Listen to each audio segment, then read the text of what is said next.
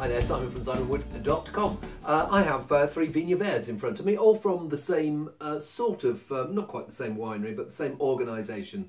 Uh, there's, uh, I think there's a couple of estates. One's called Casa de Paços, or Quinta de Paços, I think, and the other one's Casa do Capitão-mor. Um, anyway, Vinhos Verdes. Some of them got, some of them are all Alvarinho. Some of them are just a little dollop of Alvarinho. So we'll start off with the one that's got uh, the most great varieties in, which is the Casa de Paços 2015 Superior, uh, made from Alvarinho, Arinto, Loureiro and uh, Pires, weighing in at 12.5% uh, alcohol. I've got a feeling that um, none of these has seen any, any oak, but this one says partial skin maceration, so it might have a little bit of colour, it might uh, have, uh, I don't think it's going to, I'm not expecting loads of tannin or certainly not orange wine territory with uh, maceration, but I think they're just talking a, a, couple of hours to add a little bit of um, grunt and fatness.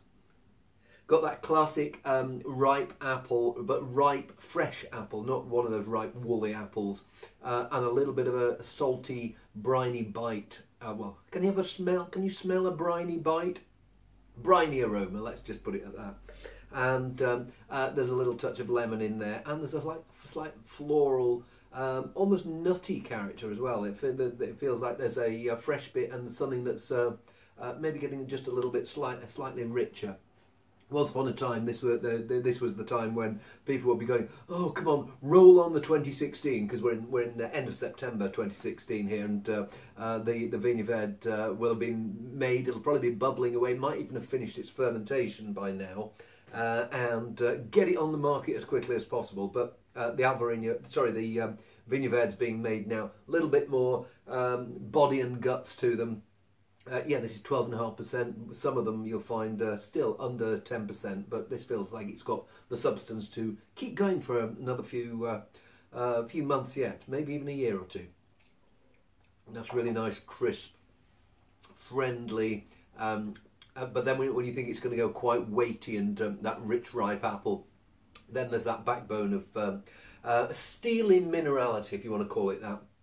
Something in there that's uh, that's making you think, uh, yes, I'd really like to uh, sit down with a plate of shellfish. Actually, there's most times of the year when I'd like to sit down with a plate of shellfish. maybe not with a massive Amarone or something like that, but um, I wouldn't say no to a good place of shellfish most times of the year stroke day shove the cork back in there and uh, do the next one. Uh, which is Morgado uh, de Perdigão. Uh, this one, uh, Quinta de Paços, as opposed to the first one, which is Casa de Paços. Um, and I don't know whether that means the first one's got some bought-in fruit and this one's got uh, uh, all estate fruit. Um, just two grapes here, Alvarinho and Loureiro. Again, 2015 vintage and um, yeah, 12.5%. Anything about barrels? No, no, no, no, no just a little bit of time on the lees and uh, Borras Finas. I'm hoping that's fine lees, but if it's not, uh, well, my Portuguese friends will uh, get me and slap my wrists. Anyway, the wine. There's that fatter, slightly um, aromatic character of, um, of ripe Alvarinho here, um, and it's got more of a yeah more of a peachy weight. Maybe the first one was uh, majoring on that uh, green apple. There's still some of that appley character here, uh, but there's this um, other uh, yeah richer, peachier, uh, maybe a little bit more nut kernel in there. Really tasty wine. Fat but thin, if that makes sense. So there's these fat, juicy, peachy flavours, and then um, that some of that crisp minerally note and um, that fresh apple acidity that was in the first one uh, to rein it all in. Um, juicy, it's got, it's got me going in need of even more shellfish. Uh, dear me, actually, yeah, you might have seen from the camera that uh, I don't know if it's uh, what, what this is going to look like when it, it, it gets processed, but uh, uh the sun. It, it, I started filming and it was uh, slightly cloudy outside, but the sun has come out, and uh, the, yeah, this is the sort of one I would like to um, sit at a seaside cafe and sup with some lovely shellfish. Very tasty.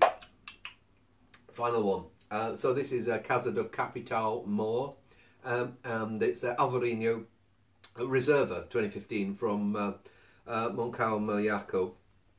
Um, have they got, uh, yeah, no, again, no time on, uh, nothing in barrel, but it has a long period uh, in the lees with steering. I think they mean stirring, but uh, I quite like the idea of a wine being steered from one one side of the wine cellar to the other. But uh, anyway, let's see what whether this is steerage class or high class. Fatter, richer, dumber. Sounds like an MP, really, doesn't it? Um, but um, it, it, feels there is that peachy weight that you got in the uh, uh, in the previous one, but more of it. Uh, and I think uh, it feels I, I, don't know when it when it was bottled in comparison with the other two, but I wouldn't be surprised if it had uh, if, if it's been bottled far more recently.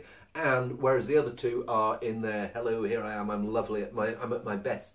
Excuse me, I'm at my best now. This feels like uh, it's still doing some uncurling, so I'll try and try and get it to uncurl in the glass. Again, that mixture of um, richness and finesse. Um, so there's the peachy nut kernel, classic Alvarinho, Albarino, if you're on the Spanish side of the border. Um, uh, but then uh, people say, what's the difference between Alvarinho and Albarino, um, the, the, Portuguese and the Spanish versions? Uh, sometimes I, I, pick up a slightly saltier tang in the uh, uh in in the ones from the Portuguese side of the border, but um, it's a very broad rule of thumb. It's I suppose it's like uh, what's the difference between Sancerre and Pouilly-Fumé? You get there are some that are more Pouilly-Fumés that are more Sancerre-like, and vice versa. And uh, it's very easy to get yourself confused. And I would be lying if uh, I'd said that uh, you could put them both in front of me and I'd be able to tell which side of the border they came from.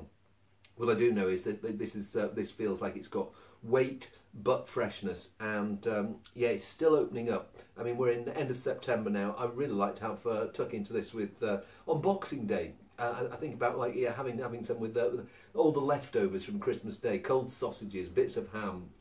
Uh, that thing where you, uh, you, you use sausages as a lolly. I mean, you, uh, it can, and if you stand on one leg uh, and hold your hand in the air, they have no calories. Uh, but I'd, I'd, love to sit and have it with that type of ever so slightly savoury, salty food. Um, I, I, wouldn't mind it with. Um, maybe even with my, my Christmas dinner, but uh, I, I, I think of something. It feels like a more of a. Uh, if, if you're going to have it in winter, it's a lunchtime wine rather than a, an evening wine. Evening, maybe you want something that's a little bit more weighty and oaky, but uh, this packs quite a punch in terms of flavour. But it's one of those that's genuinely medium-bodied, full-flavoured. Uh, a lot of wines get it the other way around and miss out, but um, this is terrific. Actually, all of them have been pretty terrific. Um, I'm very impressed by them. Um, so um, keep an eye out for, for these. And uh, yeah, I mean, Vinho Verde, it's a wine region on the up, and uh, estates like this are leading the way. See you soon.